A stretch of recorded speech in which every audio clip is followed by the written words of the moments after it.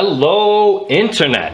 You and I both know that it's all about the Benjamins until you learn about current and become very angry at the first US scientist um, arguably, arguably the first U.S. scientist. So uh, just as a bit of intro, if you have yourself a nice little circuit with a resistor over here and a battery over there, and everybody's going to agree on what's positive and what's negative, and everybody's going to agree about which way current is going, but there's going to be some frustration about the fact that there's not actually anything moving that way, electrons are moving the other direction. This is disappointing. You know, he doesn't know know. He doesn't know what moves in the circuit and yeah, he has no way of telling and so he picks one and it just so happens that it doesn't agree with the motion of charge carriers in solids. And that's okay. I don't like to be so angry with him. This is a reasonable decision, you know, kill them all and let God sort them out, right?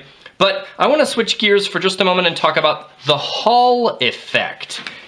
The Hall effect discovered by another American. How about that? A fellow from the US. And the wonderful thing about this guy, Hall, oh, he was named Hall, did I say that? It's not an effect about Halls, it's an effect discovered by Hall about something that's not really Hall-like, but it's kind of, I mean, it's kind of like a Hall. We're talking about 1879 and this fellow was a graduate student at Johns Hopkins, and he realizes something that, frankly, you should have realized even before Maxwell put all of Faraday's equations together and made some beauty there. You should have noticed this, I think, like 40 years earlier. Well, that's my claim anyway. But Hall comes along and he's like, wait, this is cool. So let's talk about what he does. Hall takes a wire, um, it was a pink wire, naturally, and he puts a current in the wire because, well, that's what you do, right? And he has this, well, it's no ordinary wire because the wire's in a magnetic field. Yeah, Christian Oersted. Okay, so here's my external magnetic field that is permeating all of the space around the wire. Now the wire is going to make its own field, but that's not what I'm drawing right here. I'm drawing the external field. The wire's field itself isn't going to impact it, is it? Is it?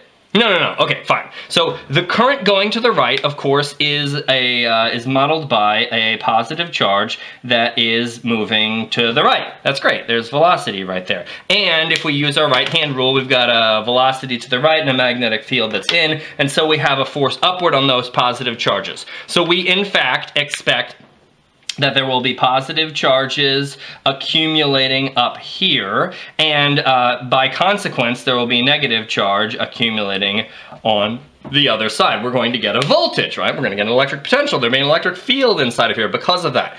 Right. Now that makes a lot of sense, except it doesn't happen. This is not what you see if you take a piece of copper. You can do this at home. Well, you'd need a sensitive voltmeter because this is a small potential. Let's point out that we're gonna take a voltmeter and we're going to establish that we can measure this potential like this. The problem is you do not get the voltage that I've just drawn. So let me try to do this again. We're gonna scoop this up just a little, little, little, little bit.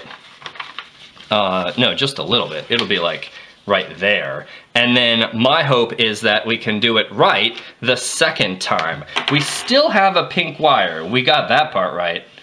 And then we've got a current to the right. And we have an external magnetic field. I mean, we're doing the same experiment. We're just trying to get a model that makes more sense of what we see because what we see is not what we predicted from our previous model. Now we're going to talk about rather than this positive charge moving to the right, we're going to be more honest because usually we, uh, you know, we kind of sloppy with this. We say uh, for all intents and purposes it is okay to say that a current to the right is positive charge carriers moving to the right. Well, guess what? It's not here today. 1879, it's no longer the case. We have a ion, electron moving to the left, and just look what happens. If that electron is moving to the left, sorry, it's an electron, watch, see, I'm labeling it negative. If that electron is moving to the left and there's a magnetic field that's into the page, ready, ready? I'm gonna see my left hand and I'm saying that, oh, that's gonna be an upward force. We already said there was gonna be upward force. Duh, right? Same result? No. Watch this.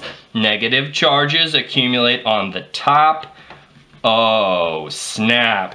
And uh, because they're missing, positive charges accumulate on the bottom we finally have a way to figure out what the charge carriers are in a hunk of metal. Now, it's not necessarily the same as the charge carriers in, a, in an ion soup when you're hanging out with your chemistry friends, but in this case, in a solid, the charge carriers are electrons. Now, you can get mad at Benjamin Franklin, but let's look up here at this 1879 again. Let's review for just a moment. That's 132 years after Benjamin Franklin proposed that charges be called positive and negative depending on what they do and then current comes out of that declaration. And it's 89 years after he's dead. He's been dead for 89 years and we discover this thing. And you're expecting, oh, just because it's the same country, it's supposed to have been figured out already? Stop it. That's not reasonable. Okay, so the question then, if we're looking at the actual Hall effect right here, and we have positive charges accumulating down here, when there's a current going that direction and a field into the page, of course we'd expect the opposite polarity.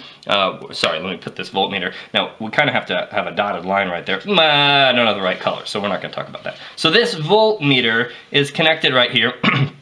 We'd expect the opposite voltage to be measured if we had the field the opposite direction. We have an electric field the opposite direction, we'll get the opposite voltage. Of course, if we have the current going that way, then the electrons are going that way. We could also flip the voltage like that. But anyway, it just works the way that you that that compels us to understand that negative charge carriers are what move in hunks of metal. So there we are, but the question is, why does this building up of charge ever stop? Wouldn't it just build up more and more charge? And the answer, of course, is that the charge is here. These electrons that are all crammed together up at the top, they hate one another. And so they're developing an electric field in between. That voltage is actually causing the process to stop. So it gets to some sweet spot. Let's discuss that sweet spot for just a moment. If you have an electron that's right here, and there are two forces on it, it moves undeflected. That must be the steady state scenario, right? Where you've got yourself a whole whole bunch of electrons up here, and this electron's like, well, I kind of um, have a magnetic force upward, but I kind of have an electric force downward because I hate those guys. So let's draw that. We're going to have two forces. We're going to have, what did we say? A magnetic force,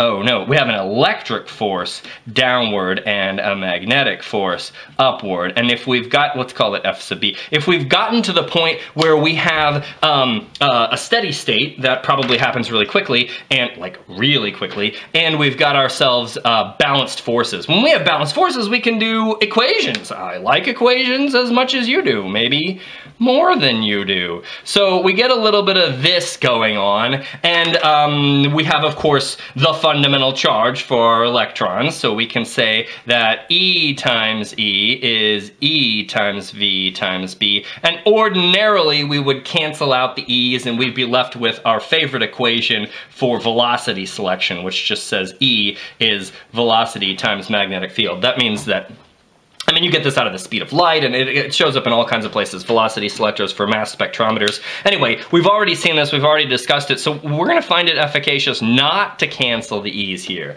Wow, okay, okay. So if we don't cancel the E's, then we're gonna be able to get at that voltage. What is the voltage developed here? So it's time for me to start labeling a few more things. First of all, this is the height of the metal. Now that height is has got to be, well, it's the height across which we're measuring the voltage, and let's assume that it's constant for crying out loud. Don't make this more complicated than it needs to be on the first day. And then there's a magnetic field into the page. Sorry, I need to label that in green. This is the magnetic field into the page. And um, what else do we want to say? Oh, we're going to talk about what this electric field is, and it's measured in volts per meter, right? So it is a voltage divided by a distance. I'm thinking V is negative ed, and we're going to be sloppy with distance here. So, I mean, with, with signs. We just need magnitudes, right? We already were sloppy with our minus sign right here.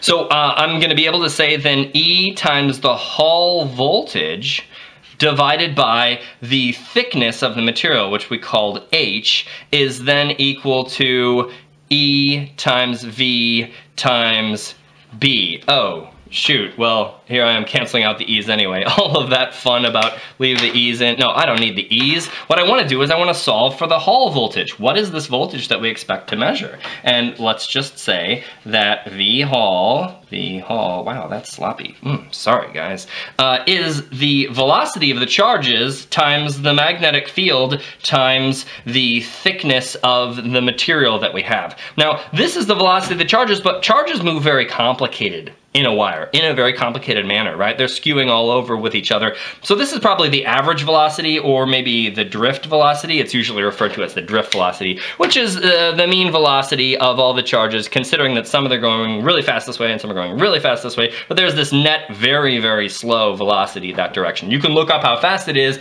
It is very not fast.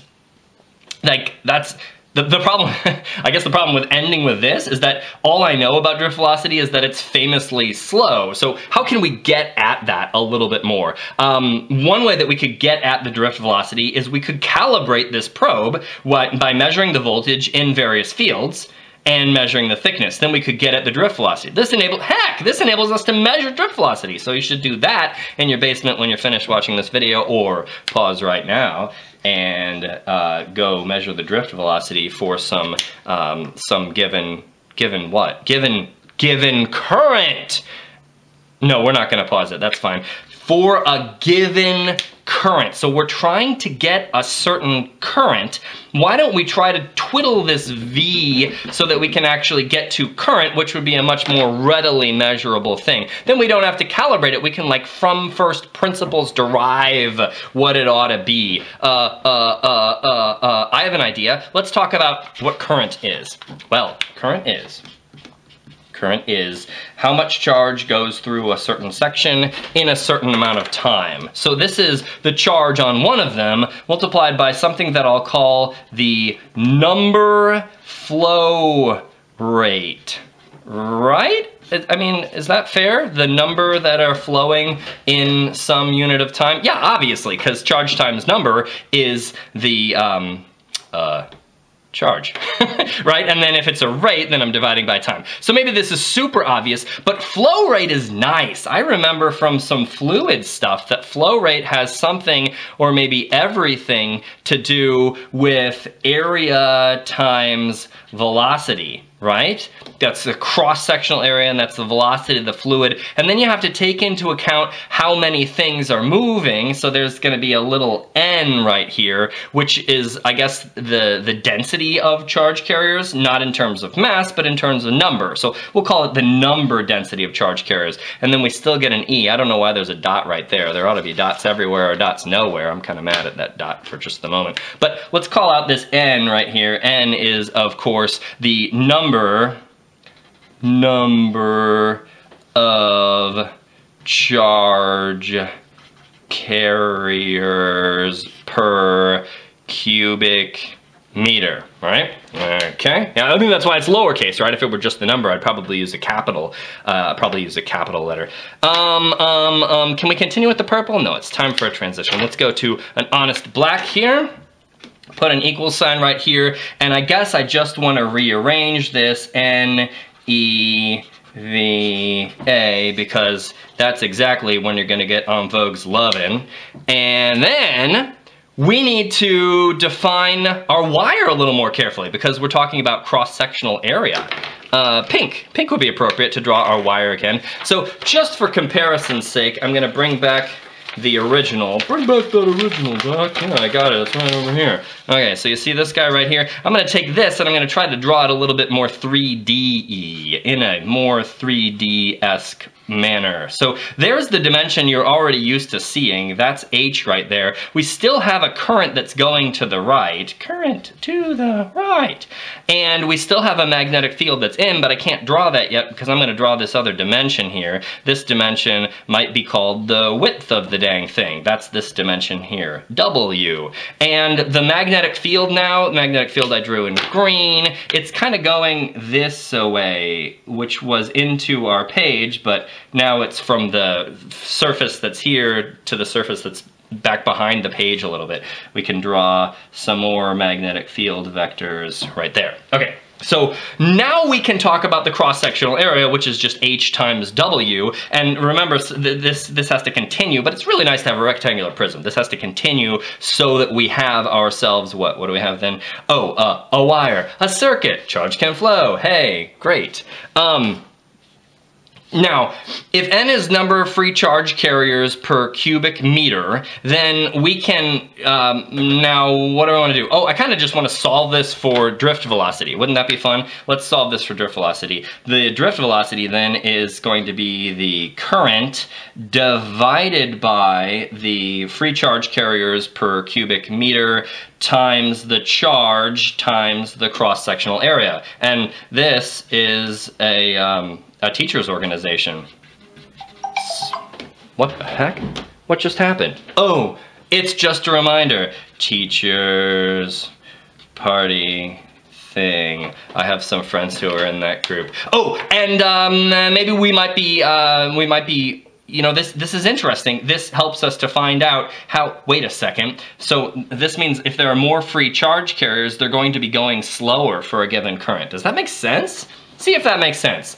Lean over, talk to a friend. Does that make sense? All right, so let's take this equation right here and see what we can do in terms of actually um, doing something else with it. We wanted to go back to our original Hall effect equation. What did we have originally for V Hall? I'll put that right here so that you recall what we had for V Hall. V Hall, I don't, I don't even know where that page is. Oh, it was the drift velocity times the magnetic field times the height. And now I'm gonna be plugging in all of this stuff in for drift velocity. Watch what happens. We get I times B times H divided by, wait a second, see the I? Oh, and then the, um, the NEA is down here, but A is going to partially cancel with that H right there, so we get IB over NEW, which is further fun. Are you having as much fun with this as I am having?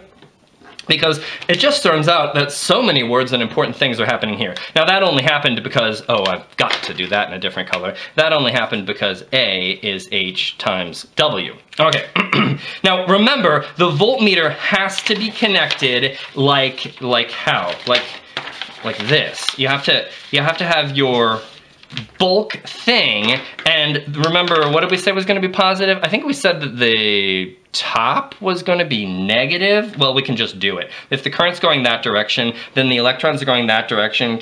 That means the top is becoming negative, top's becoming negative, and the bottom, which we can't really see, is becoming positive. So what you would do then is put a plate on the top and a plate on the bottom, and, oh wait, no, don't put a plate on it, because then that would change the, um, the, the resistance of the section, you get a different current. Yuck. Anyway, just take a voltmeter and splotch it on right there with a really small contact and put another one right in the middle of the bottom plate that I can't draw because it's hidden. But anyway, put that up there, make those connections, measure that voltage, and these suckers can be used to measure magnetic field all you need to do is say that the magnetic field, we're gonna just solve this for magnetic field, it's gonna be NEW, which are some things that you can control, except for the fundamental charge. Um, and then we're going to multiply that by V over I. Now, V over I is a funny thing to appear here because that acts kind of like a resistance. Um, whoa. Now that's interesting. Uh, you can control N. How do you control N? How do you control N? I think you get a different material. Perhaps good materials have a different number of free charge, I mean good conductors. good material. You're gonna walk up to material and say, hey, that's a good material right there. Nonsense. A good conductor might have a different N, uh, free charge carriers per volume, than uh, a poor conductor, for instance, or a poor material. Ha! I'm gonna leave you with two questions. Question one, does a better conductor provide a larger or easier to read Hall voltage? One, better conductor means VH goes up. So this would be nice, right? We want a large Hall voltage because we're probably talking on the order of microvolts, so it's gonna be a little bit hard to measure that. And the second question is, if we're using this as a magnetic field sensor, why would you not want to have an arbitrarily large I? Why not huge current. What I mean is, if you're using this thing to sense magnetic fields, this sucker right here, obviously the greater I is, the more sensitive it is. But what are two reasons? I need two reasons, two reasons, that you wouldn't just want to go arbitrarily high. And you cannot use as one of them that your teacher made you always stay below a certain current limit so nothing catches on fire. That is not a valid reason. Bye-bye.